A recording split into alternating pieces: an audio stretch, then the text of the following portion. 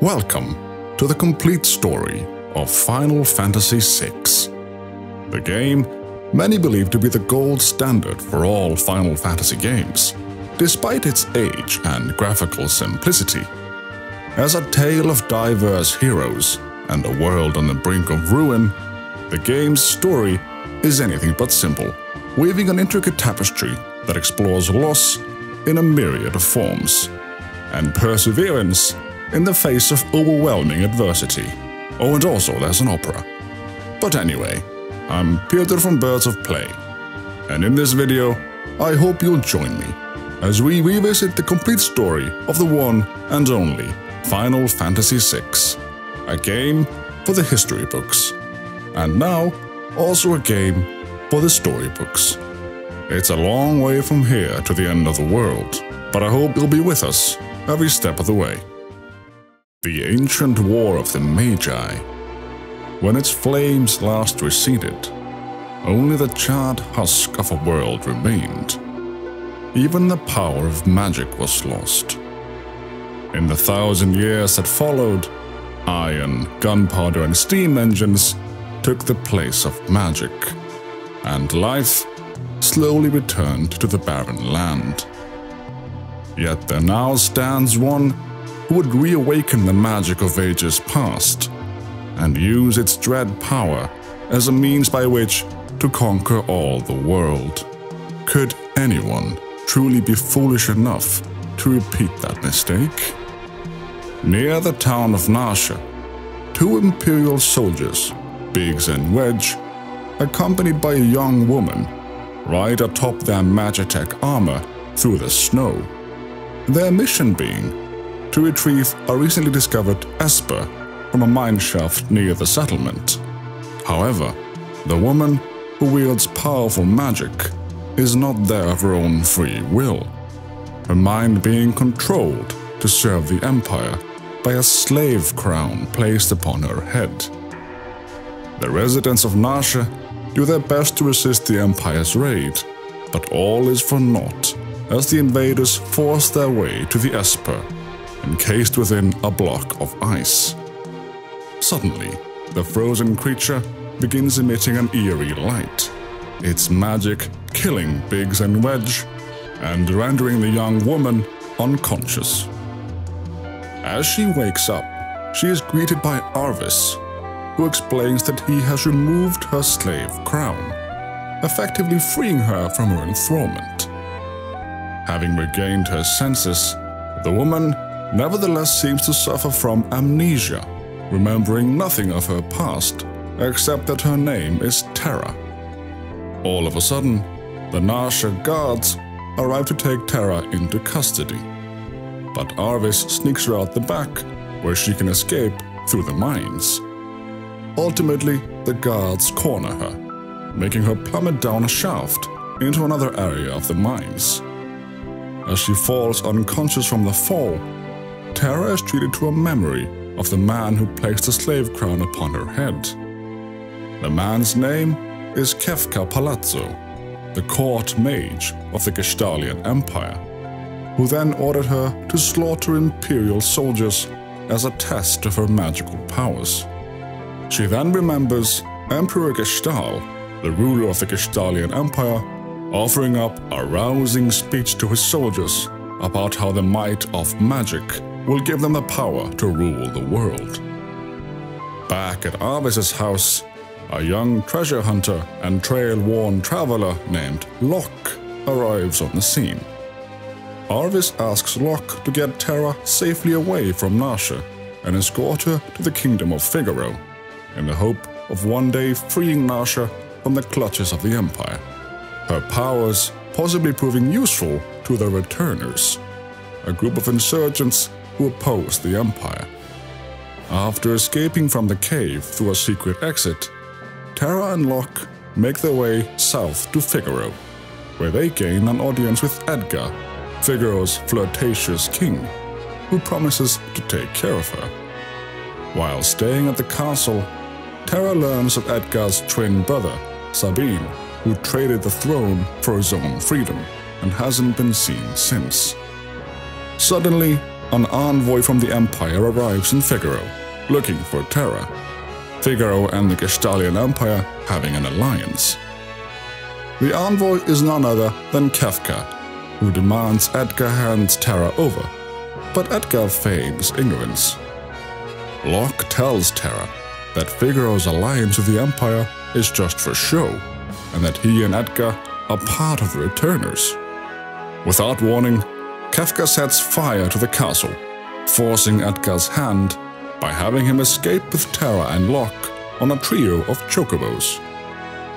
Before leaving, however, he orders the castle to burrow down into the desert sand, leaving Kefka deserted in the middle of nowhere. Edgar and Locke take Terra to see Banon, the leader of the Returners. But before they can reach the Returners' hideout, they must first pass over Mount Koltz.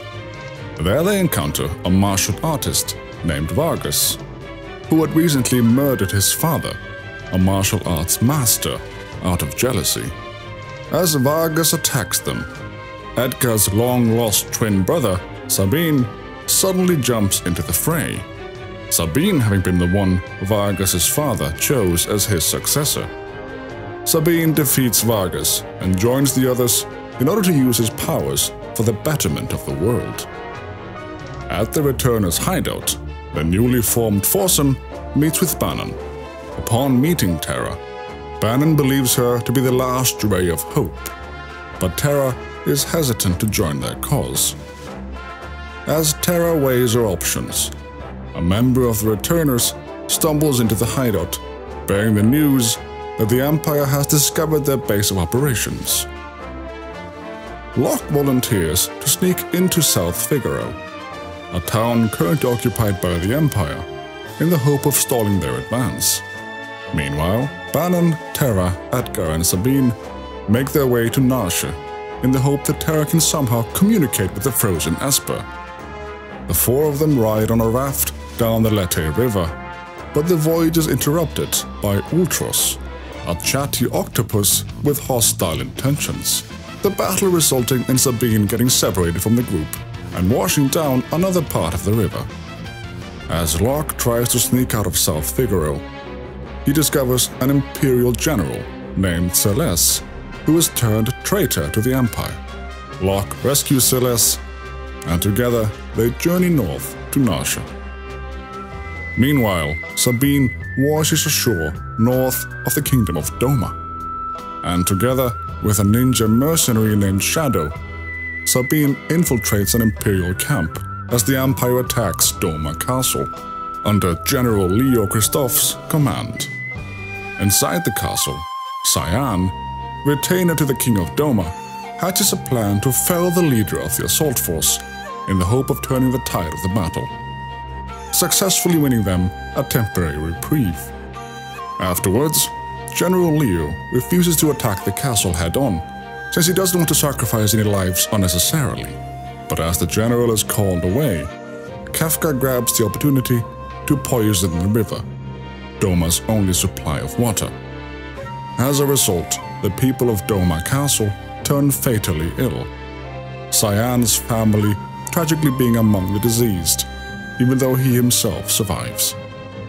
In his rage and despair, Cyan attacks the nearby Imperial camp alone, but is unable to catch Kefka.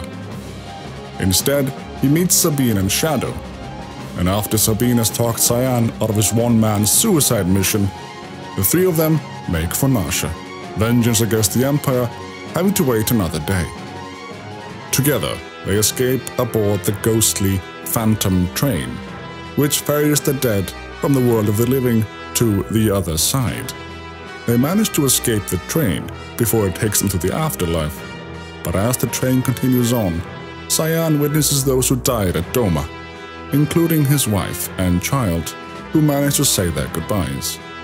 After the party escapes the train, Shadow takes his leave, as Sabin and Cyan leap down Barren Falls to the town of Mobliz. On the nearby veldt, a vast plain filled with beasts, they befriend a feral child named Gau, who shows them the way to a diving helmet. Using the device to brave the currents of the Serpent Trench, Sabin, Cyan, and Gau reach the city of Nikeah, where they board a ferry bound for South Figaro, so that they may rendezvous with Sabin's companions at Narshe.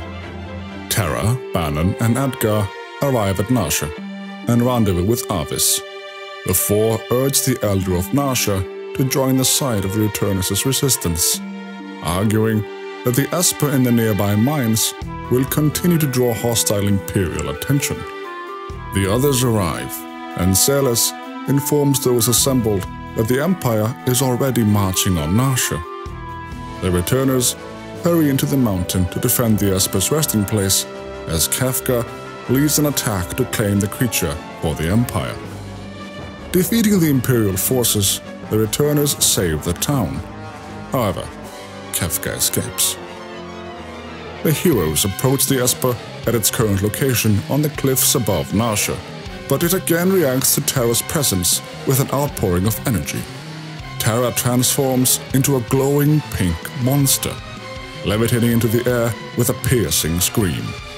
Terra flies away, leaving the rest of the party behind, bewildered by her sudden metamorphosis as she soars through the sky. Several of the returners remain to protect Narshe, while a search party heads to the west to find Terra, using Figaro Castle to burrow under the mountains to Kohlingen. They continue south to Jidoor and then to Zozo, a town of thieves. Atop the highest building, the group finds a transformed Terra under the care of the Esper Ramuh, who tells the party about the War of the Magi and the Imperial invasion of their realm, and that he called Terra to him to put her to rest when her powers awoke. Ramuh had escaped the Empire with three comrades who fell during the escape and turned to magicite. Ramuh says the Empire's methods of forcibly extracting magic from Espers results in a weaker form of magic but when an Esper dies and crystallizes into Magicite, their abilities can't be transferred in full. Terra needs to accept her powers, but Ramuh urges the party to rescue the other Espers in the Imperial capital and turns himself into Magicite, entrusting the returners with his power and the power of his friends to fight the Empire. Celes leads the expedition to the Empire with Locke and two others accompanying her. As no boats go to the southern continent, however, the group returns to Jidoor. At the Opera House south of Jidoor, they meet the impresario, who worries Setzer Gabbiani, the wandering gambler, will abduct Maria, the star of the opera Maria and Draco. Since Celes bears an uncanny resemblance to Maria, Locke hatches a plan for her to take Maria's place in the opera as a ploy to gain access to Setzer's airship, the Blackjack, the only private airship in the world. Ultros overhears the plan, and during the performance attempts to drop a weight on Celes. Locke and the others stop him, but the show is ruined, and in the commotion, Setzer abducts Celes. Celes then helps Locke and the others sneak on board the Blackjack and tricks Setzer into helping them by making a bet using a two-headed coin to beat them at his own game. Setzer flies the group to Albrook, and they set out for the imperial capital of Vector. Once in the city, they're able to sneak into the Magitech research facility, where Magitech weapons are being manufactured. There, they witness Kefka torturing two Espers, Shiva and Ifrit, and overhear him declaring he will revive the warring triad. Believing himself to have no more use for them, Kefka discards Shiva and Ifrit as if they were nothing. Once the party finds the Espers, however, they entrust their magicite to the group, much like Ramuh had done before them, bestowing them with their true power. Afterwards, the party continues through the facility and releases several Espers being drained of their power. As the Espers turn to Magicite, Dr. Sid, the chief scientist of the Gestahlian Empire and the creator of Magitech, arrives on the scene. finally understanding that the true power of Espers can only be transferred upon their death through magicite. Upon seeing Celes, Sid asks her whether the rumors of her infiltrating the returners as a spy were true. Before she can get a word in, however, Kefka appears and confirms the rumors of her working as an undercover agent for the Empire to be true. Kefka orders Celes to bring him the magicite. But as he orders the rest of the party to be killed, Celes disobeys him, teleporting herself and the Gestahlian forces away to keep Locke and the others safe. As the facility threatens to self-destruct due to the Esper's containment cells having been broken, Sid helps the party escape and shows regret for having experimented on the Espers. He tells them he's going to talk to the Emperor to explain the folly of his way. As Kefka approaches, Sid pushes the party into a minecart to get them to safety. Having escaped, the party meets up with Setzer and returns to Zozo, destroying two cranes Kefka uses to try to destroy the Blackjack. In Zozo, one of the pieces of magicite the party acquired from the Magitech research facility is revealed to be that of Terra's father, Maduin, who restores her memories. Terra explains she is half human and half Esper, born from a human named Madeline, who had entered the Esper realm and befriended Maduin. When the Empire attacked two years later, Terra and her parents were swept up and sent to the human world, along with the forces of the Gestahlian Empire. Having discovered a human and Esper hybrid in Terra, Emperor Gestahl took Terra, along with Maduin, and raised her as a magic experiment due to her natural magic powers. Now accepting who she is, Terra and the party return to Narshe and tell the others of their plan to attack the Empire, using the machinery of Figaro and the resources of Narshe. Realizing they lack manpower, they decide to open the gate to the Esper world and ask for their help. Terra possibly being able to bridge the gap between humans and Espers, proving the two races can coexist peacefully. As Terra begins to call out to the Espers at the gate to the Esper world, Kefka appears, informing them it was the Empire's wish all along for Terra to open the gate. As Kefka confronts the party, Terra's cries open the gate, and Espers rush out, decimating Vector and crashing the Blackjack. In the aftermath, Emperor Gestahl tells the party the Esper's terrifying power has made him realize the error of his ways. He declares a truce and asks the returners and Terra to help him locate the Espers that fled the gate and make them understand the war is over. Having made peace, Terra and Locke accompany General Leo to Crescent Island to track down the Espers. To assist their efforts, Leo has hired Shadow, the mercenary. On the way to Crescent Island, Terra and General Leo have a heart-to-heart, -heart, and the General apologizes for not having saved her from being used as a weapon. Terra fears she is too different and asks the General whether he believes she will ever experience love. The general consoles her before taking his leave. Shadow suddenly appearing on the deck, having overheard the conversation by accident. He tells Terra that he can't help her and that she must find the answers for herself. Locke, on the other hand, is fighting his own battle against seasickness. Having arrived at Crescent Island, a place rumored to still be home to magic, Terra, Locke, and Shadow split from the Empire and discover the backwater town of Thamasa. There they meet Strago, who feigns having no knowledge of Espers or magic. They also meet Relm, his granddaughter, who quickly befriends Shadow's dog, Interceptor. As the party rests up, Relm is trapped in a burning building, and the townspeople reveal they can use magic when they try to put the fire out. But the fire proves to be too strong, even for their magic. Terra, Locke and Strago enter the building to save Relm, but end up being rescued themselves by Shadow, who has come to get his dog, Interceptor, that had followed them inside. Strago explains Thamasa was founded by magic imbued humans who sought to live normal lives after the War of the Magi. As their descendants, the town folks have inherited some magical powers.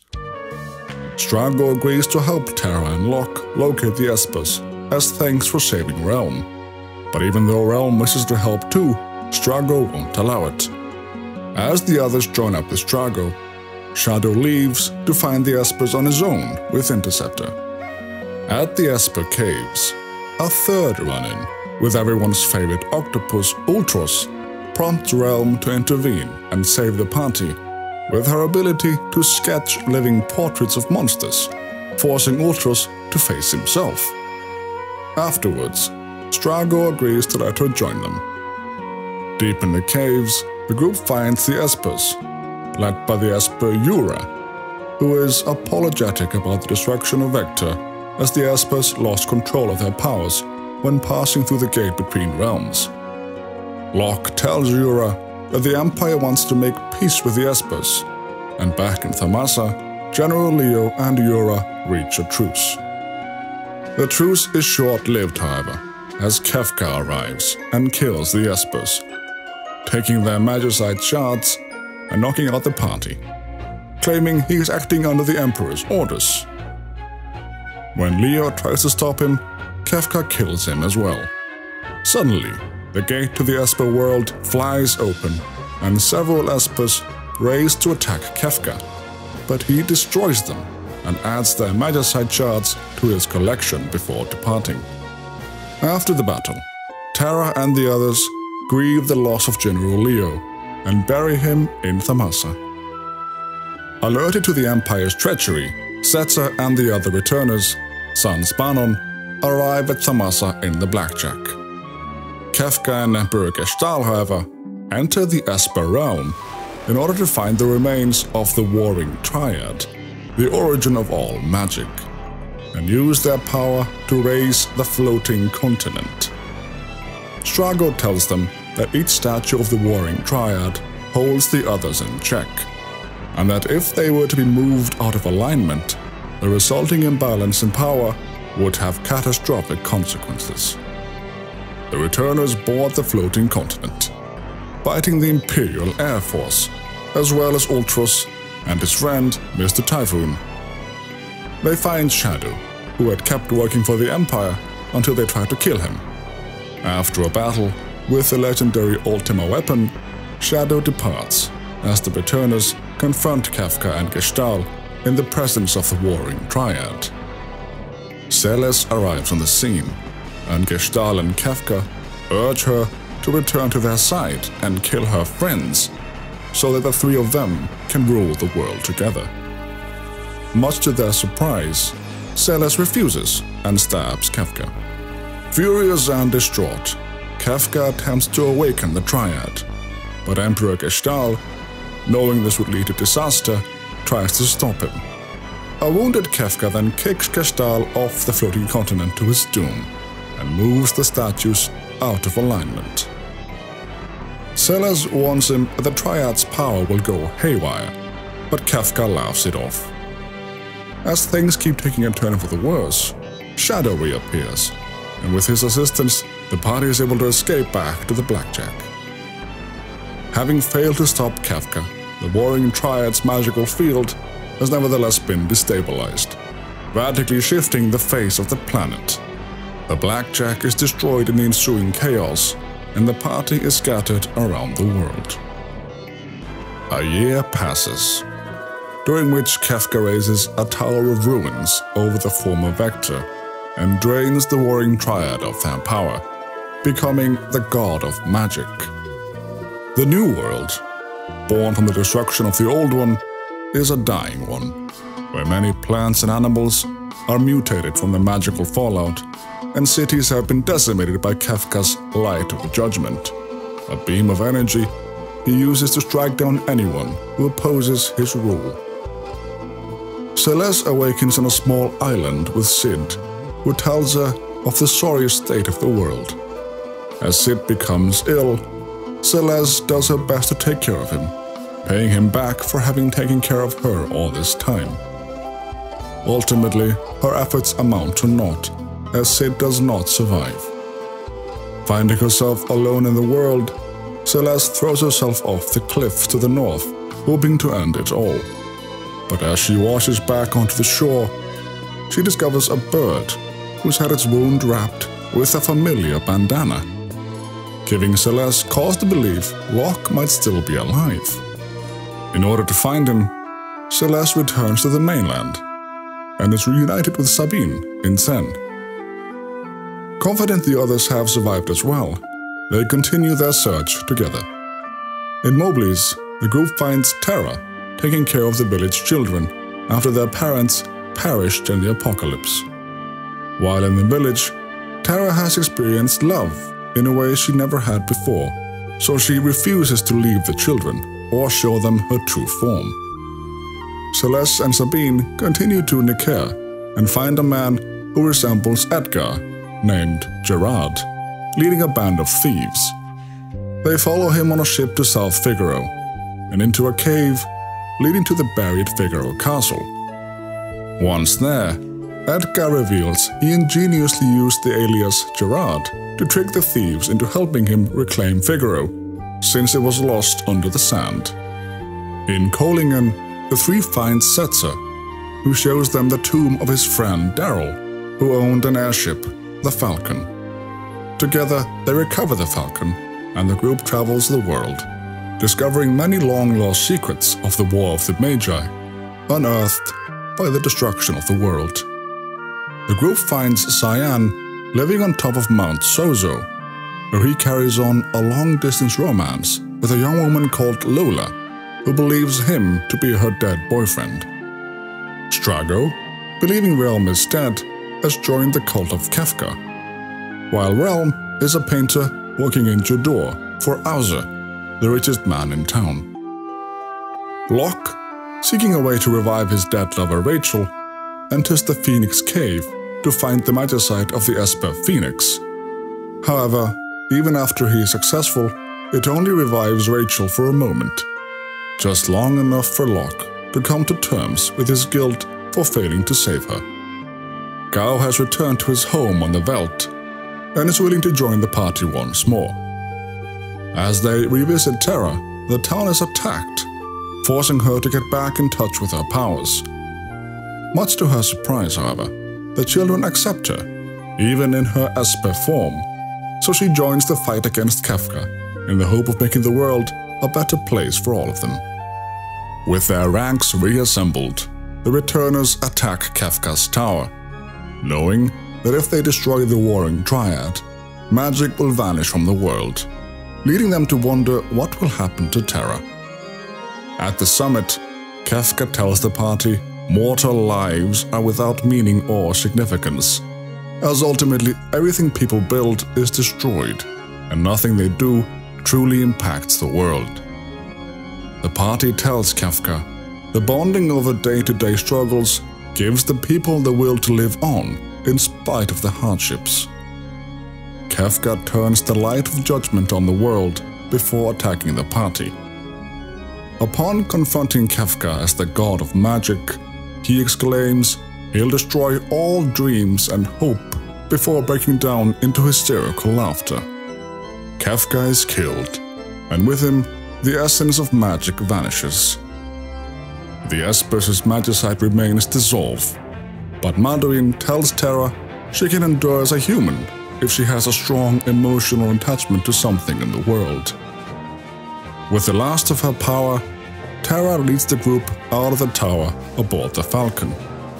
She falls onto the main deck, and after regaining consciousness, finds herself fully human due to her love for the children of Mobliz.